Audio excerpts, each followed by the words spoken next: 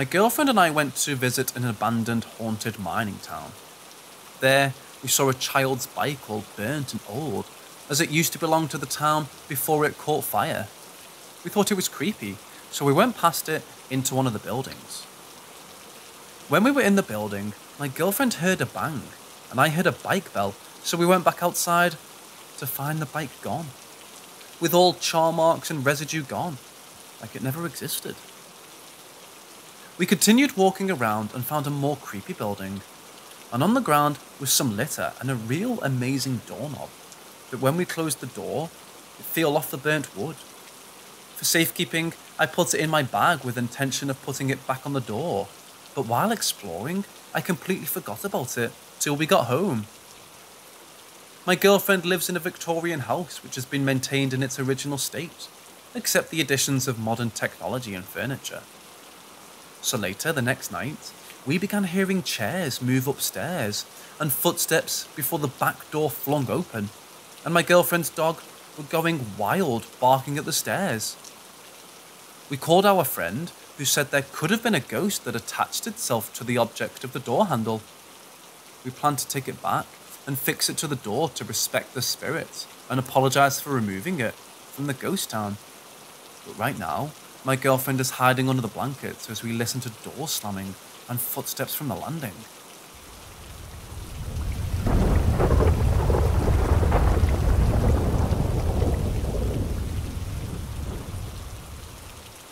For the past two weeks, my family and I have been travelling around various countries in Europe.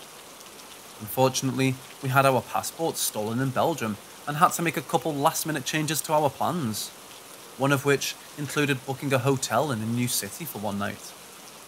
We stopped just for the night between trains in Cologne, Germany.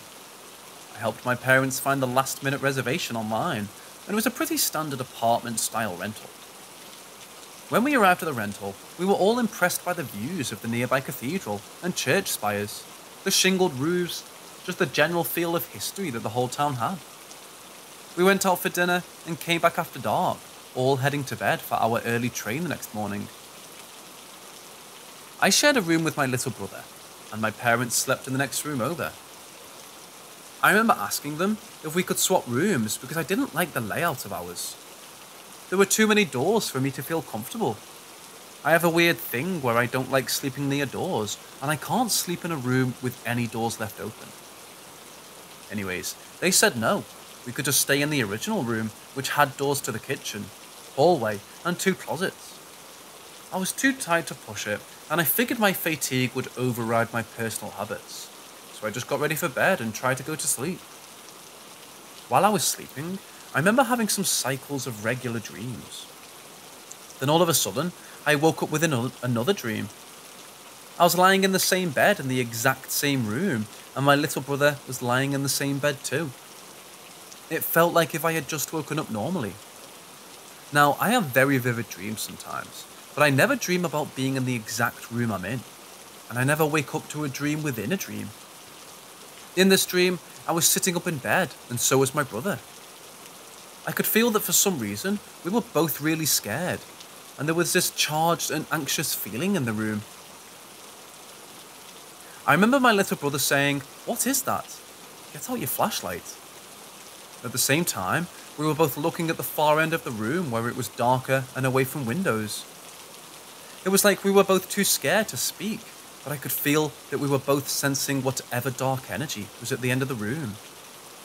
I started to fumble for my phone flashlight just for some light, when all of a sudden, this thing, the closest I can describe to it as a dark blob of energy, moved super quickly over next to my side of the bed, and my brother and I screamed at the same time as this thing rushed up next to me. That's exactly when I woke up for real, around 2:30 a.m. My heart was racing, and I was sweating so hard despite the room not being hot. I was so unsettled that I turned on all the lights in the room and didn't sleep for about two more hours until I could finally somewhat relax and drifted back to sleep. The experience was very disturbing for me. I never wake up in the morning for no reason, as I usually sleep throughout the night, and rarely, if ever, have nightmares. Now I'm wondering if anyone can comment on a phenomenon like this. Can people have paranormal encounters in their sleep while in certain spaces?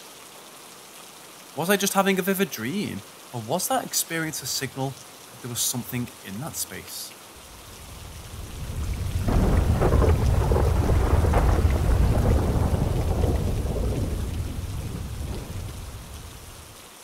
So all of these things happened in my now ex-boyfriend's house. I would spend a lot of time at his house overnight, as his neighbourhood had more things to do, and his bedroom was more private than mine. We were both 19 to 21 during this time. First, I should mention that his family practices the Yoruba religion and would leave water and offerings for individual deities. They were very in tune to that aspect of the universe. I had almost felt growing up that I could feel things and spirits. Not necessarily communicate, but I could feel them and acknowledge them, and was generally chill and not scared, as long as I knew I wasn't doing something to upset them, and vice versa. I would have the thought of, oh, that's a ghost, and kind of move on. In this house, his bedroom had a door that led down a flight of stairs into the backyard, and also into the basement. He has a washer dryer down there. And further in was storage. It was a dark, damp concrete floor. Not a place you want to hang out in. Occasionally, we'd go down to get the laundry, and I always found myself looking into the back of the basement and just knowing I wasn't welcome to pass any further than the dryer. Even at the dryer, I can only explain it with clear words popping into my head. You're not supposed to be here. It was my own voice, and I would always leave quickly and sometimes give a nod of respect towards the back of the basement. I avoided going down as much as I could. Additionally, sometimes when in bed late at night, I would hear creaking on the stairs. At first, I summed it up to an old house settling and changing with temperature, but over time, I couldn't deny that it was the distinct sound of footsteps. It would always stop by the door to the basement, and I would stare at the door waiting for it to open. It never did. One day, we were sitting at the kitchen table with his mom and dad, and I don't remember how it got brought up, but I mentioned that I always felt unwelcome, and like I wasn't supposed to be in the basement. His mom and dad shot a wide eyed glance at each other, and his mom said very matter of factly, There's a ghost of an old man who stays down there. I immediately felt validated and got chills and described exactly where I felt unwelcome. And she confirmed that he does hang out in the very back of the basement. She also told me that she will leave a shot of whiskey for him when his activity picks up, as he's apparently cranky by nature, and it seems to calm him down for a few weeks. She said he was harmless, but I already felt that. He just didn't like me in his space. She left some whiskey for him the next day, and I think I spoke to him and somewhat told him who I was. The feeling of unwelcomeness never left, and I would still hear creeping on the stairs. But I made sure to acknowledge him when I went to the basement and never went into his space at the back of the basement.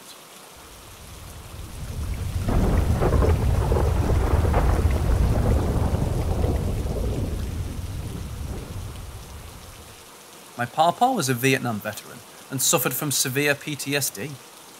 Lots of things could cause a flashback, from a pot dropping on the floor a car backfiring in a parking lot, or a helicopter flying overhead. He was also exposed to Agent Orange and battled cancer for as long as I could remember. When he died, he only had half of a lung on each side and was still fighting cancer in other areas of his body. He took a lot of medication multiple times a day, but he was still a wonderful grandfather. He made sure I understood my worth, not just as a girl, but as a human. He also made sure that I knew how to defend myself he took me with him everywhere, and once he got too sick to leave the house much, he bought a video camera so that I could record all my performances, softball games, and high school ceremonies so that he could still see it all. Obviously, the two of us were extremely close, but by five, I knew what to do when he was having a flashback and what medicine to give him and when. We were close enough that 90% I was the only one who could bring him back to the present during a flashback. Other family members used to yell and tell my mama to keep me away from him during these episodes, but she'd always tell them to hush and that he wasn't going to hurt me, and he never did. Another favourite thing of my papa's were white bulldogs. He absolutely adored them, and they were always named Fred. even when he had three of them at once. They were all Fred. It became a running joke in the family, with my uncles no longer calling him Dad, but instead Fred, and he often returned the favour. At family gatherings, once everyone arrived, all you'd hear for a few minutes was, Hiya, Fred. How's it going, Fred? Where were the kids, Fred? I wasn't talking to you, Fred. I was talking to Fred.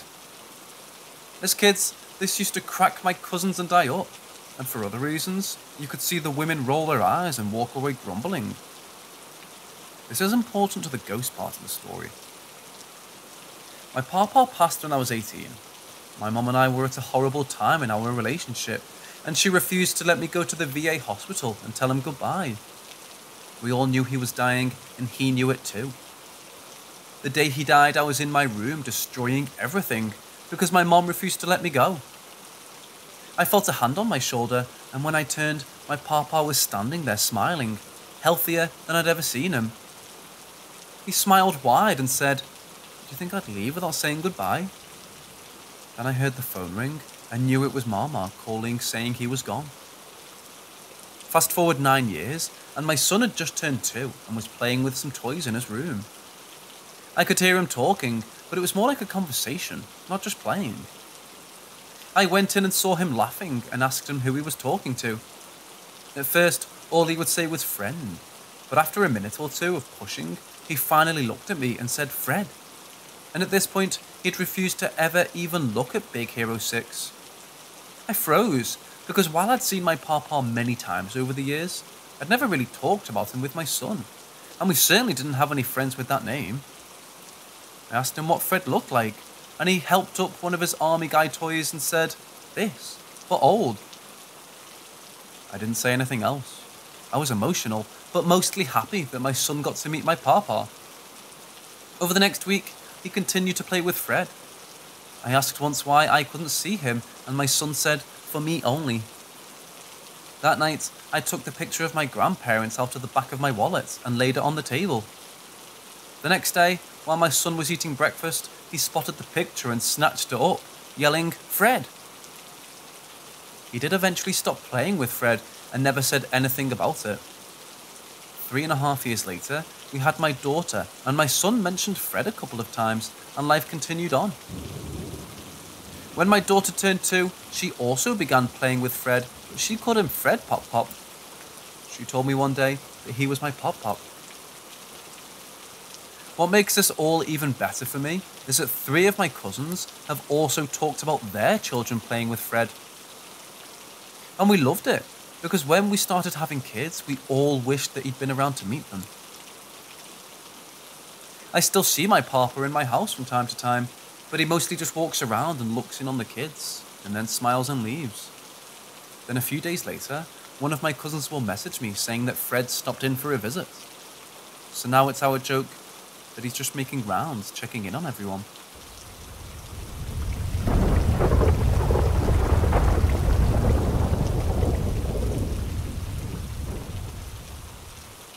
The sister that died before I was born. I have four siblings, but only three of them are alive. My brother was born in 1986, and in 1989, my mother gave birth to Haley, the one that died. When my mother was several months pregnant with Haley, she was taken to the hospital because the doctors thought she had appendicitis. She was operated on, and the next day, she went into early labour. After three months in an incubator, Haley was brought home, and things went well for a few weeks after they brought her home. Until one day, when my mum went to check on her after a nap. She was unresponsive.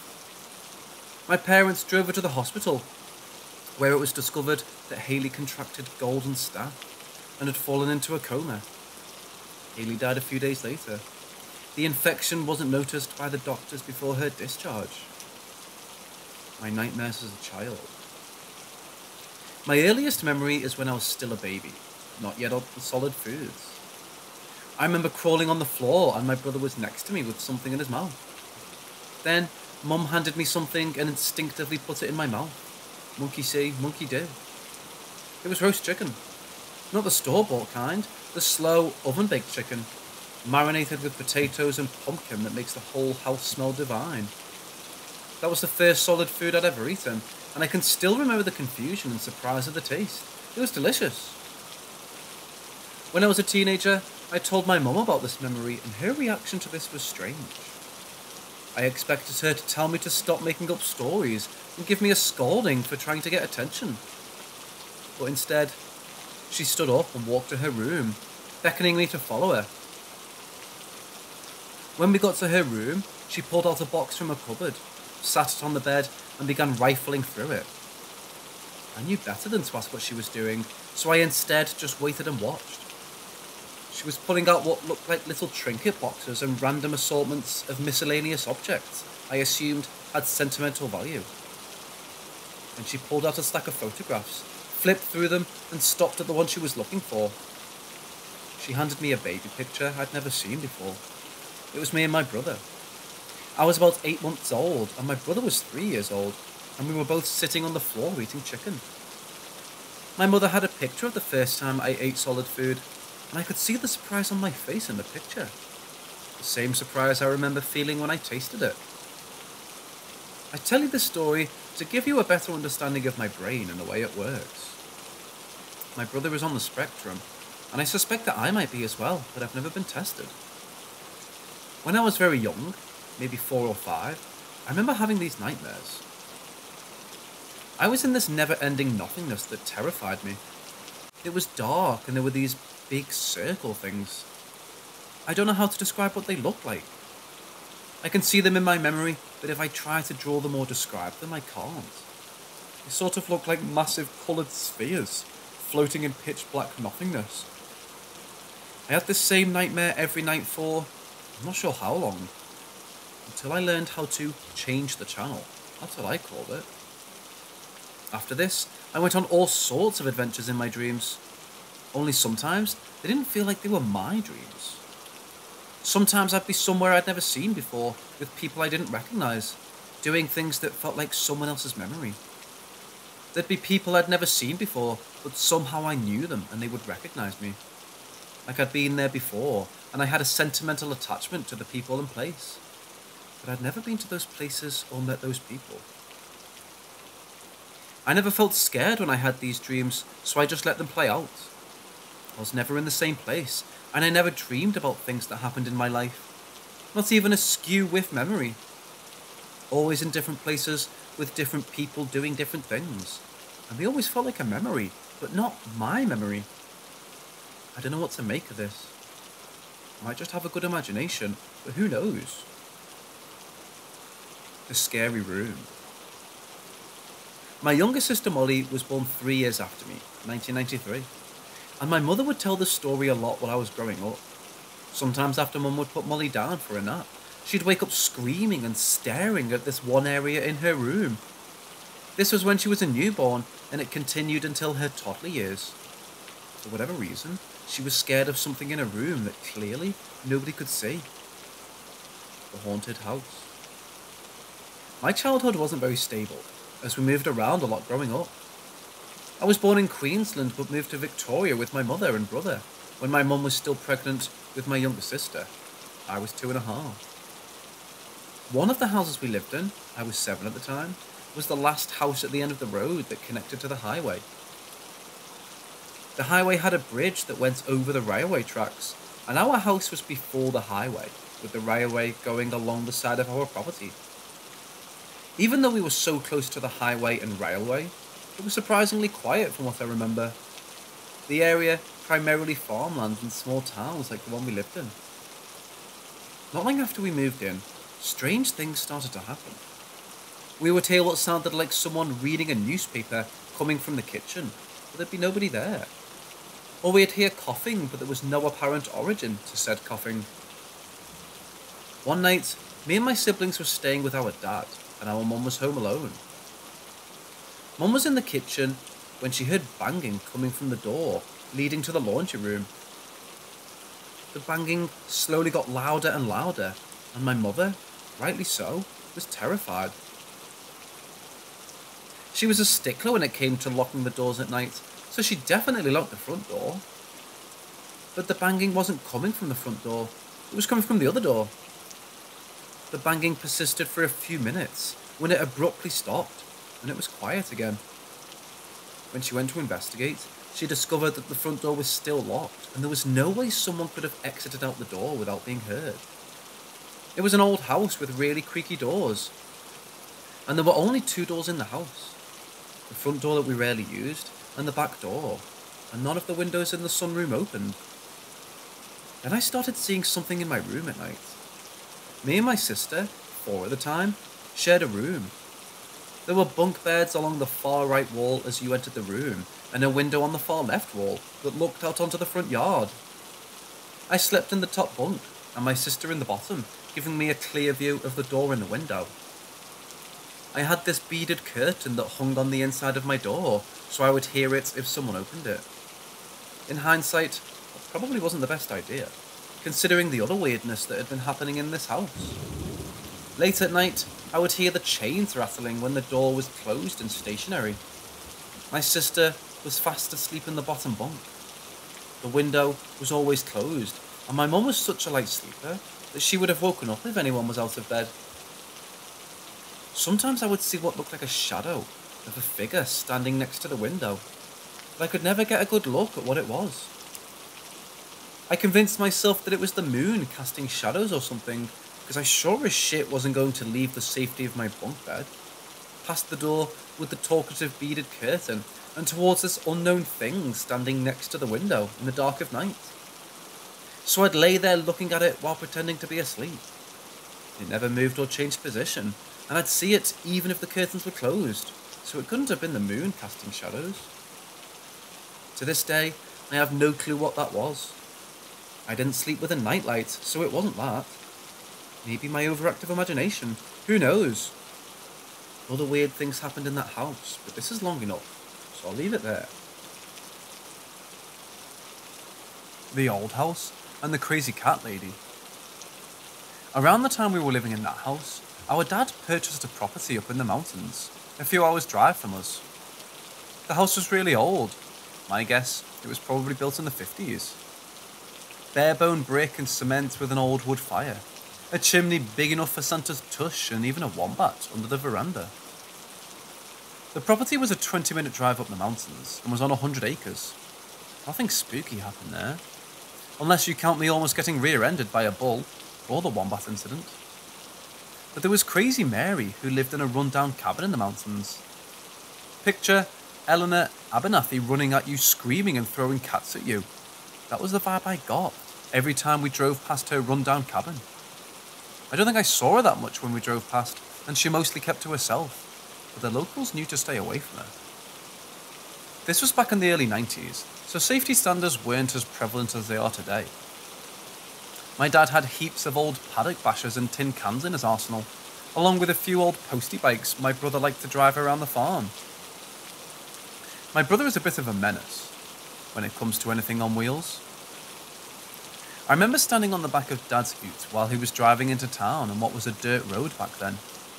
It was a gorgeous summer day, and the tree was as far as the eyes can see, and the occasional kangaroo spotted through the tree line. I was looking at the trees when something caught my eye. It was the flicker of a light from the corner of my eye. I looked over to see what it was, and I saw a white fox. It was only for a second and was gone as fast as it appeared, but it was stunning, is the word that springs to mind. The auras. My entire life, I've seen these weird specks of light in my vision, similar to migraine auras or what you see after you rub your eyes. They're objects of coloured orbs in front of me that I see all the time. Sometimes they move and change shape, size, or colour, but mostly they're just there in my visions and don't move. As a kid, I called them my imaginary friends and thought that everyone else saw the same thing, and it was normal. But when I'd mention it to my parents, I was accused of making things up to get attention, which is why I never mentioned them again after that. My mother started abusing me when I was six so I found comfort in writing from a very early age. And these auras sort of became a safe place for me. Something nobody else could see and therefore couldn't be taken away from me, like so much that my mother stole from me growing up. I suffered a spinal cord injury and brain injury when I was 17 in 2007. The auras have stayed the same, but change when I get stressed or if I'm grieving, when I get a migraine or during a panic attack. But within the last few months, these orbs have started getting bigger, and I started to see something different. Something I have no logical explanation for. The foggy figure. Around the time that I noticed the orbs changing shape, I started seeing this. I don't know what it was. I first noticed it when I was leaving my kitchen. I was going past my fridge and I saw something in front of the fridge. It was roughly the size of a person but with no distinguishing attributes or outline. It was translucent and like looking through clear contact. When I first saw it, I thought it was a trick of the light or something, so I moved to the other side of the room to look at it from a different direction. But it stayed there, motionless. I closed my eyes for a bit, and when I opened them, it was still there. I was confused as fuck and brushed it off as stress or something. Until I saw it again a few days later. This time it was near my front door. I was on my way to the bathroom when I saw it. The same size and shape, but unlike the first time I saw it, this time it felt like I was being watched. My heart started racing, and my skeptical brain was going haywire trying to conclude a logical answer to what I was seeing. Of course, my brain drew a blank. After this, I started seeing this figure a few times a day, usually around the same spot, right near my front door. And then I started seeing it at night. When I saw it during the day, it was like a translucent fog, but when I started seeing at night, it was the same fogginess but a lot darker. And instead of standing upright, it would be hovering over my bed. I never got any negative vibes from whatever this was. If anything, it felt like it was trying to protect me or help me. I didn't mention this to many people, but then something weird happened. A friend was over at my place one day, and when he was about to leave was when I saw this figure standing in its usual spot near the door. As he walked to the door, I saw the figure move towards him. Right as my friend walked through it, he stopped and said, Ooh, I just got the chills. That was weird. Up until this point, I'd convinced myself that I was seeing things. But that, well, I explained everything weird that had been going on and what I was seeing, feeling somewhat unsettled by what had just happened. He was rightfully shaken by this, especially considering what he just felt. I haven't seen the figure for about a month, but every now and then I get the feeling that I'm being watched. Or I'll smell something without an explanation to what the smell is or where it's coming from. I.e., I'll be somewhere alone and not moving and I'll smell something that shouldn't be there. Like the distinct smell of perfume with no origin to the smell but sometimes the smell will be different, like shoe polish or the beach. I believe that this entity is still here because I think my cat can see it. There'll be times when I'm at home when I get that familiar feeling of being watched. I don't see anything, but my cat will perk up and start staring intently at this one particular spot, right near the door where I saw it before. Keep in mind that there's nothing of interest there, just a few boxes, a fold up table, and my TV the alarm, and ghosts from my past.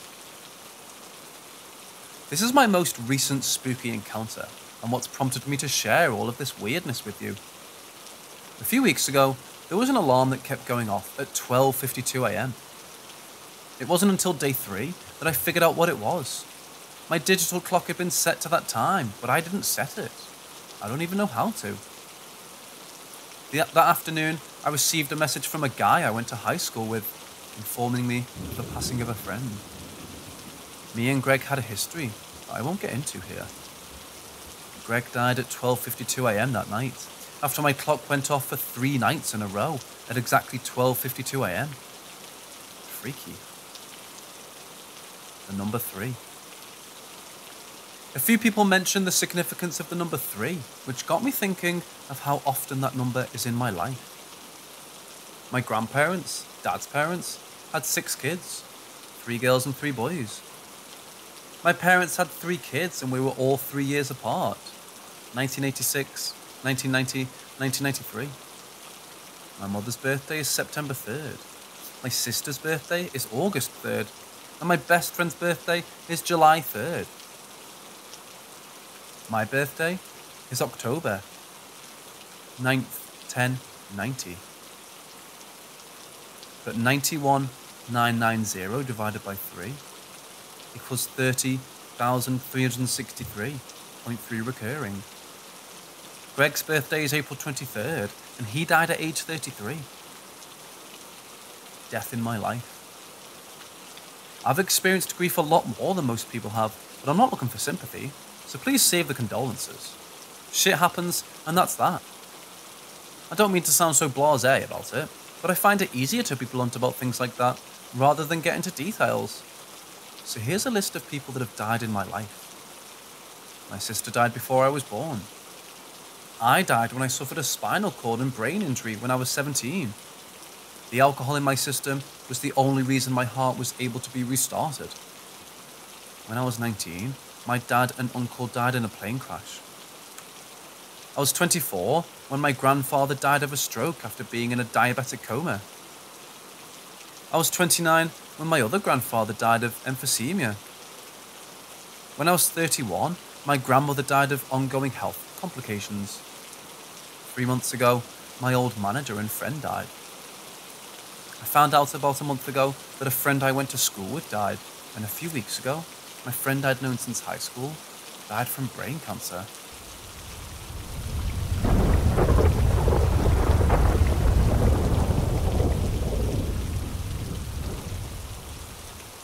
This happened a couple of months ago. It actually makes me sick to my stomach to think about. I was sitting at my kitchen table in my usual spot. My six year old daughter was on the second floor of my house in the upstairs living room, more or less right above my head.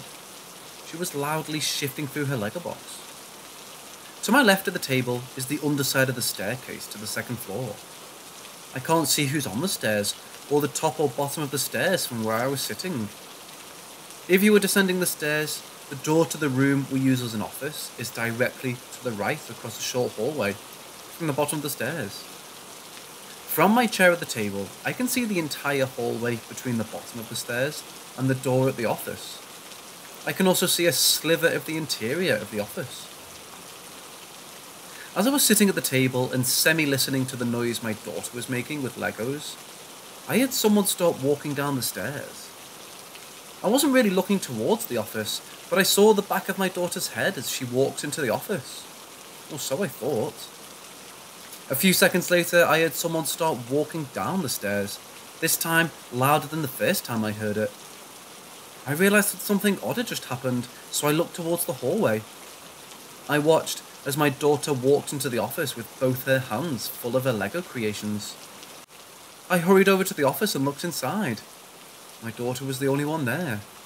She was putting her Legos on one of the desks. I asked her if she came down to the off and went back and came back down again, but she said she hadn't. There wasn't enough time for her to go upstairs again and come back down. Also, I would have seen her come out of the office. I didn't see the face of the first daughter to go into the office, but the height appeared about right. The hair colour and length and shirt colour were correct for my daughter. I'm thoroughly creeped out by this, as creeped out as I was when my daughter used to wave and say goodbye to her closet when we get her up from naps and in the morning, when she was around two. I'm unsure what to make of this. I live in a house with shadow people when I was my daughter's age, and really don't want to deal with anything creepy ever again.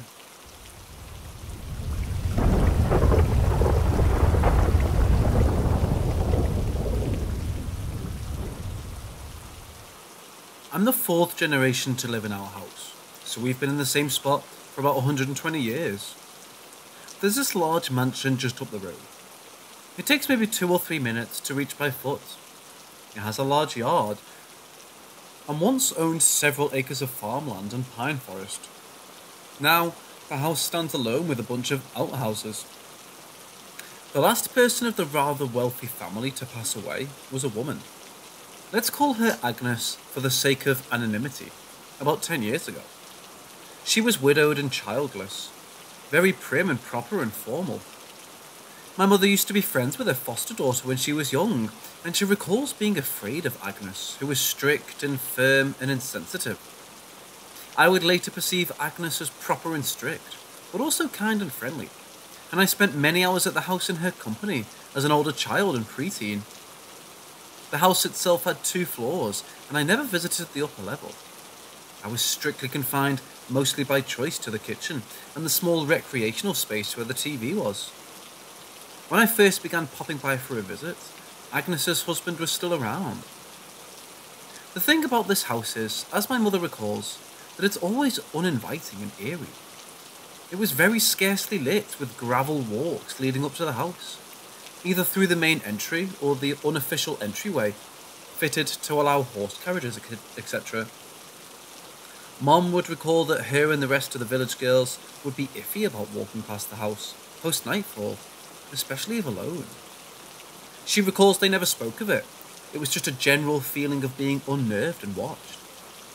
This feeling was present during the day as well, as per my own experience, and was tangible for as long as Agnes resided there. If you were walking up the gravelways, there'd always be a second pair of footsteps. You might write it off as an echo, but it would halt simultaneously with your own steps if you stopped.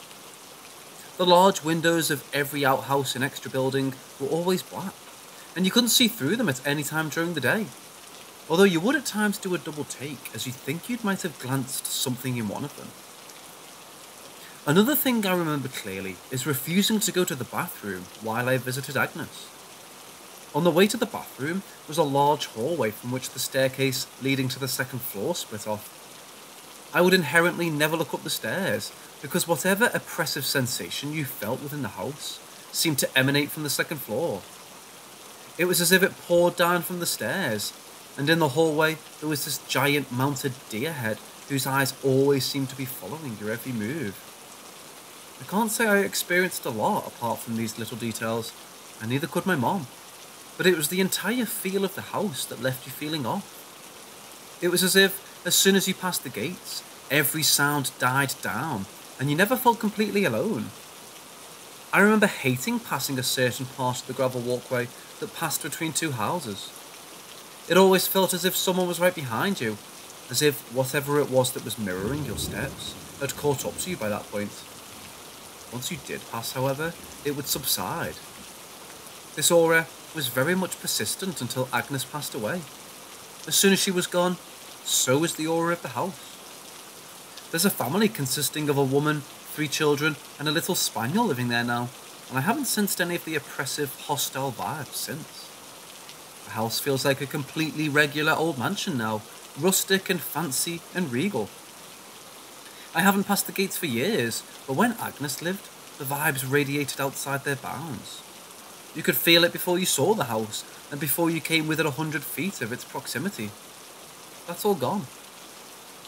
I can't help but wonder if Agnes's relatives, her entire ancestry, was waiting for her and lingering.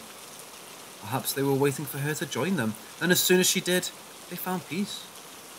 I have no answers, except for the fact that the mansion was notably hostile and oppressive in nature for at least 60 years, and then everything changed. What do you believe the culprit might have been?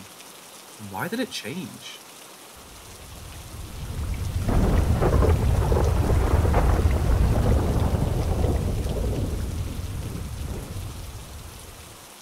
I was around nine years old. My room was small, and on the opposite side of my bunk bed is a large closet door mirror which covers the entire wall of the room. For around two weeks straight, I was suddenly peacefully awoken in the night, without any touches or noises. When I would look over, I would see a woman. Her body was shrouded in complete darkness without any distinguishable features. She wore a long white wedding gown and stood staring into the massive mirror. She never moved either, and wasn't looking directly at me, just forward. The first night I thought it was a dream, but then it happened again the night right after. I distinctly remember pinching myself as hard as I could to wake up, but realised I was totally conscious. I was never scared, and I even remember thinking to myself, why am I not? Then I would just cover myself in my blanket and drift back to sleep. After a week, I finally decided to tell my mother, who told me it's my dad pulling a prank on me. At the age of nine, I believed this. He told me he had some projector in my room displaying the images. My mom told me to scream for her when I see it again, and one night I was about to, but I just couldn't bring myself to do it. The lady never bothered me. It wasn't at all scary to see her. To repeat, this happened every single night for about two weeks. Days later, like usual, I was awakened and saw the woman standing in her usual position. But something odd was next to her. A man, shrouded in complete darkness with zero features, was standing next to her, holding a hand. He was wearing a black tuxedo. Even then, I wasn't scared and went back to sleep. After that, I never saw her again. I was never awakened in the night randomly like that. It just all went away. When I was older and asked my mum about it, and she told me she knew that house had something very wrong with it. I knew it was haunted, but didn't want to scare me. She hadn't had any paranormal experiences with it, but knew something was up. I have some more stories from this house, but none even go near how insane this one is. The house wasn't some Victorian creepy mansion. It was a usual blue collar neighbourhood house at the corner of a busy street. Each time I tell this story, I begin to cry. I have no idea why. I don't ever cry much. For some reason, I'm tearing up just typing this alone. It's so odd.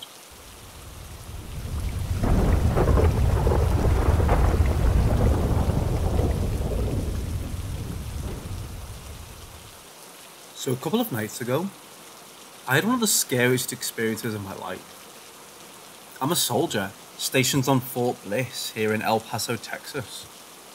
I'm housed in East Bliss, so our barracks are relatively new, only about 12 years old or so.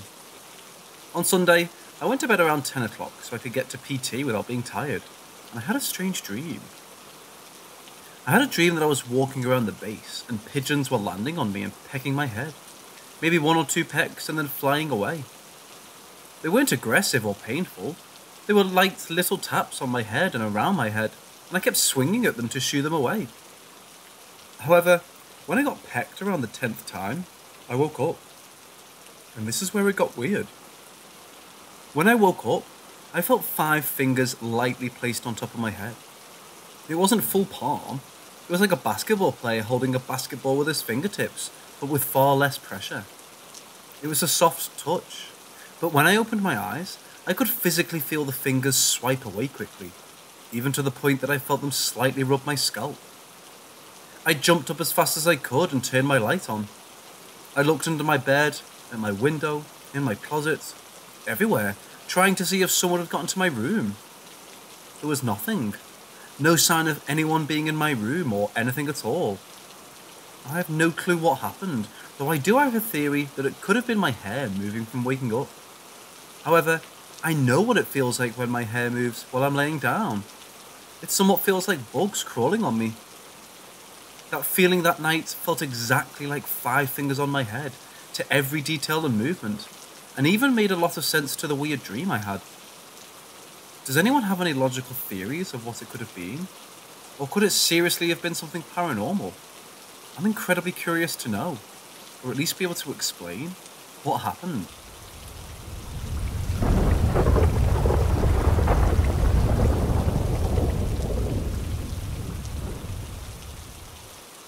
So last night, my friend came over and spent the night. I go to bed pretty early. I would say a good two to three hours before everyone else. And so I'm usually the first up in my house of seven people. And I always go to bed watching Family Guy. But when I woke up, it was playing something else.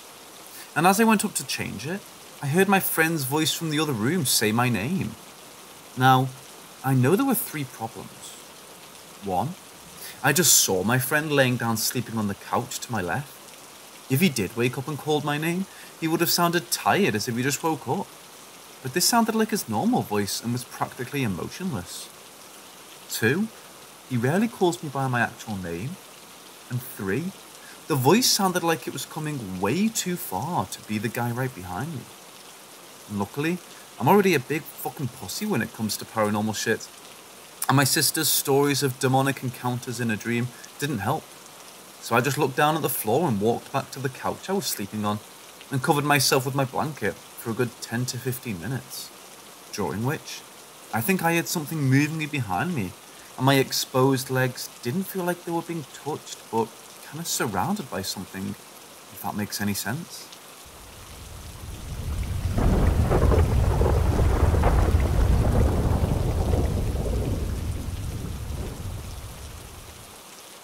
She told me this story when I was younger and back in my hometown of Zacatecas, Mexico. Anyways, let's get started with the story. This story takes place around 25 years ago. During the night, my mom likes to take simple walks around to clear her head after a day's hard work. Because it's always hot and humid during the day, she uses this time to savor the cool breeze of the silent yet peaceful night. Without a doubt, my mom thinks it's going to be a regular stroll like always, but then she hears it. Near a small lake that is a little farther away from the town, there's this girl in a white dress, walking, but crying. As she's crying, she hears the phrase, mis hijos. My mom knew that this was Llorona, because every single person in Latin America knows of this woman. For those who don't know about La Llorona, there used to be a beautiful but poor girl who had fallen in love with a rich man. Both individuals felt the same amount of love and compassion for each other. They surely got married and had kids. They truly loved each other, or so she thought. The woman found out that her husband was having an affair from the constant disappearances in the middle of the night, catching them in the act. One dark night, she took the children out for an evening stroll before stopping near a lake. Because their children looked so much like their father, she threw them in the water and let them drown. Realizing what she had done, the woman felt an immense regret and sadness swell up upon her soul, thus throwing herself into drown in the water with the kids. Because of her sins, she is to forever walk the earth in search of her kids, even though they have already passed to the other side. Her appearance is quite noticeable. She's always wearing a torn white dress while her eyes are crying blood. There are many variations of how she looks, but this is how my mom described it to me. My mom sees this woman crying near the lake. Whenever you see something that you didn't know existed, you can't help but stare at it. La Llorona felt as if someone was staring at us, so she turned around to make eye contact with my mom. Before I continue, when my mom told me this next part, she began to pray because this event scared the living hell out of her, asking for Jesus and the Guadalupe to give her strength. After praying, she continued with the story. My mom stared clearly into the eyes of this woman to see the torn dress, the pale face, the black bags under her eyes, and the blood leaking down her eyes. My mom made eye contact with this woman for about a minute before it began to move towards her. My mom turns around and runs, full on sprint. When she arrived home, she got on her knees and prayed to the Guadalupe statue all night. When we came to America, she refused to let me go outside. Not even five minutes, because she feels that Llorona will get me. Believe her, because I constantly feel like something is watching me whenever I'm walking back home during the dark.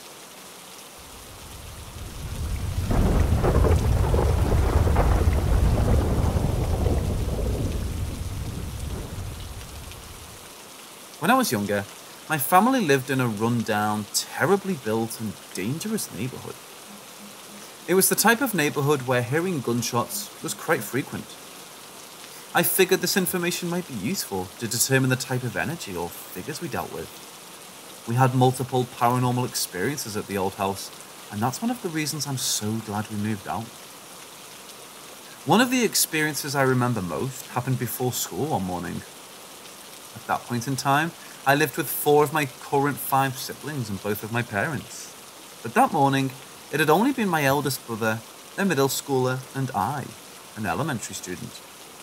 He and I sit at our kitchen table, which was near the wall and had a clear shot of our small kitchen and the back door, while everyone else got ready for the day upstairs. We had been quietly eating cereal together when suddenly the back door flew open and shut, and a blurry black figure rushed into our house. It was so fast that it seemed to disappear the moment it arrived. My brother and I had both seen it. I know he saw it as well, because the moment it happened, we both shared a scared look and promptly stood up. He and I checked our back door and found that it had been locked. There was no way anything could have come in because it had been locked, so we were both terrified. We went back to eating, but were shaken up by our experience. I remember being so scared as I finished my bowl of cereal. This is a small story, but it seems relevant.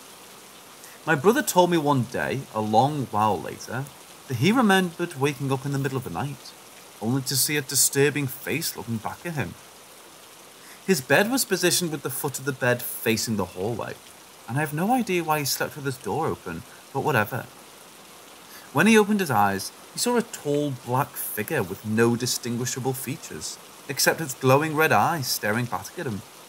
And of course, he remained still and silent, trying not to show any signs of movement or acknowledgement.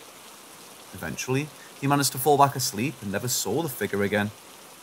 I remember seeing shadows move in that home when everyone else was doing their own thing. The creatures never did anything that I was aware of, but they scared the hell out of me and my brother. My mom says she had some paranormal experiences there too, but I don't remember them. I'll ask her tomorrow. Thankfully, they didn't seem to follow any of us to the new house, which we lived in for five years now. The only experience I've had at this house was a chance encounter with a sleep paralysis demon and hearing inexplicable breathing in my own room sometimes, but those weren't enough to shake me up.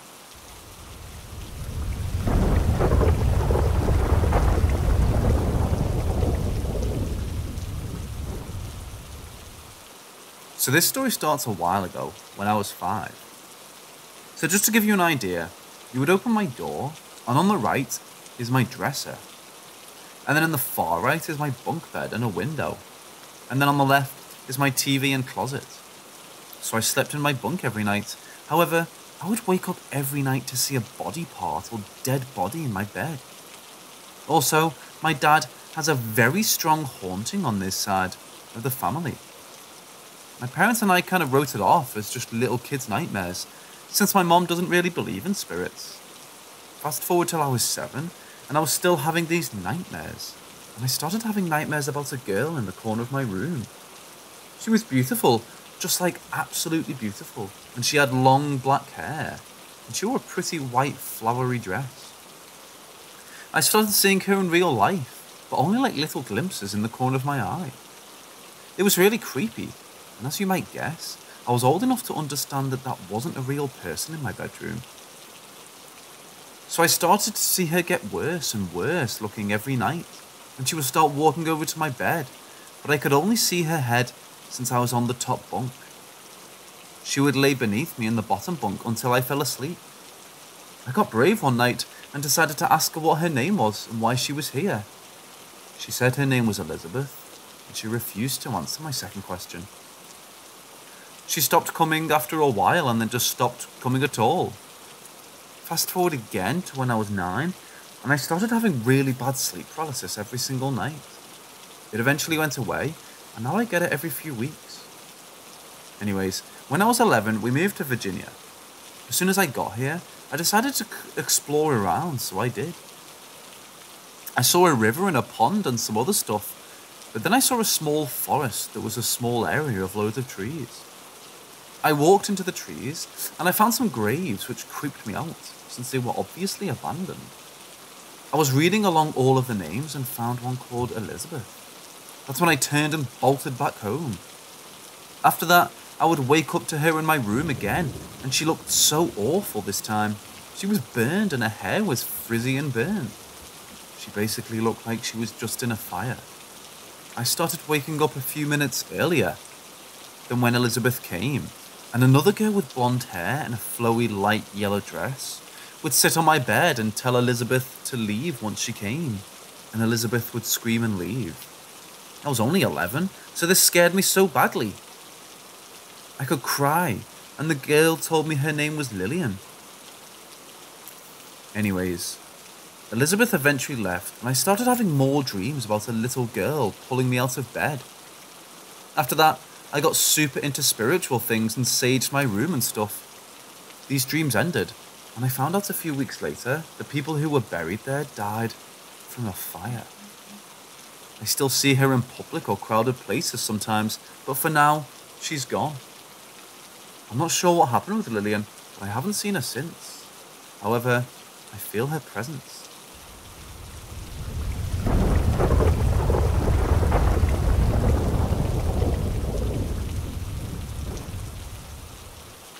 It had been a long spring cleaning my room. I wasn't done, so all the things I had under my bed were piled up in the corner of my room. I washed my face and brushed my teeth, as that's my usual night routine, and then I went to bed. I was really tired and was looking forward to getting some sleep. While laying in bed, I could feel the presence of someone in the room. I ignored it because it happens all the time. I closed my eyes and tried to sleep, and suddenly I could feel someone slowly laying down beside me. I froze, and then I felt a hand brushing against my leg. Scared to my bones, I jumped up and turned on the light, and guess what? No one was there.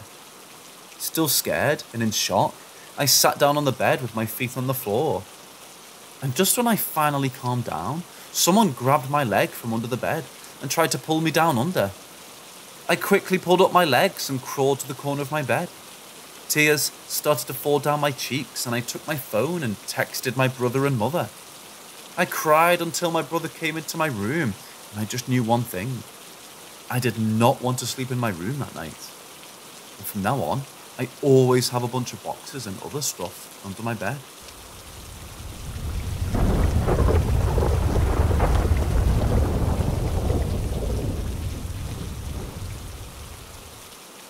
The fan inside my cooker hood, which I've never used before, has activated twice.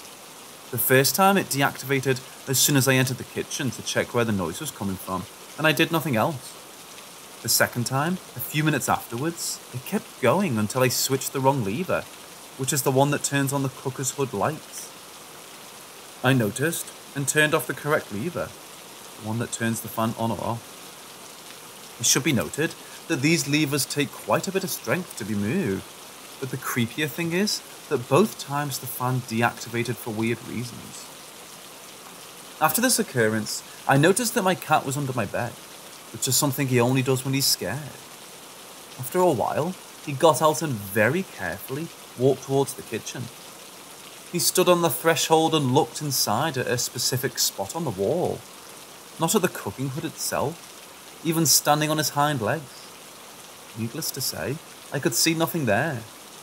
My cat was unusually tense and frightened, but he seems to be over it now.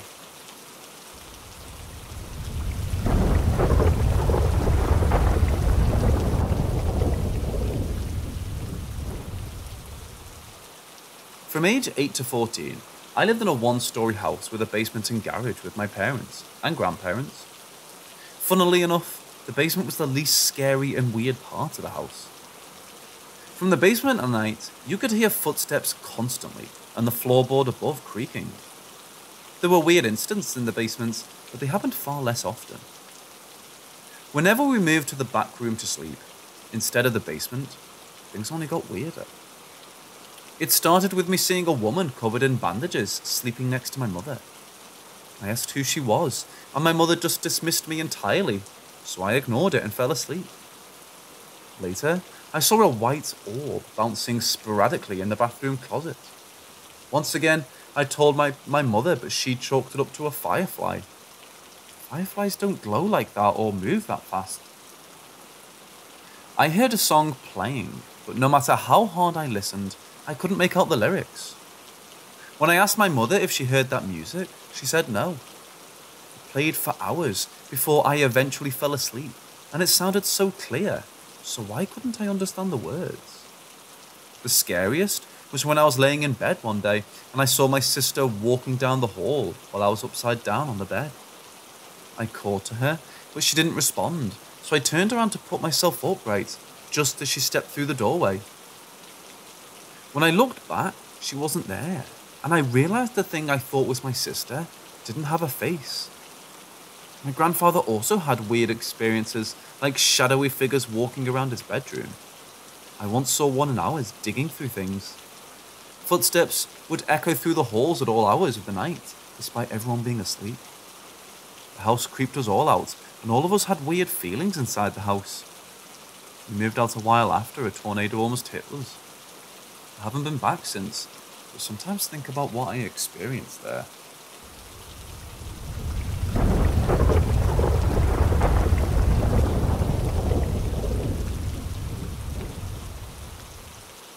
Has anyone heard the voice of their pets? My friend told me about a year ago that she heard one of her cats speak to her. Her cat said, Move. Though she says it freaked her out, she rolled over and the cat jumped onto the bed and got comfortable. She said it was a very small, feminine voice. Not gonna lie, I loved hearing about this because I love hearing about unexplainable things. Then it happened to me. Last night, I was laying in bed trying to sleep. I was tired, but not sleeping. It had been probably an hour when I rolled over and became vaguely aware that my cat was walking around to my side of the bed. This is typical, as he likes to sleep with me. He didn't jump up, he just sat there, and I swear I could feel him staring at me. Again, not totally out of the ordinary, but I noticed it. Then I heard, Up, I'm hungry, in the most chilling, high pitched, non human voice very clear and direct in my head. It had me so shaken, I asked my husband if he had heard it. No, I didn't get up to feed him again. Aside from being completely freaked out and frozen in bed, he had both a bowl of dry food and an extra treat of wet food for dinner. I knew he was good, at least for the night. This has now happened to my friend twice and now myself. Am I going crazy? Did I really hear him? Has anyone else ever experienced anything like this?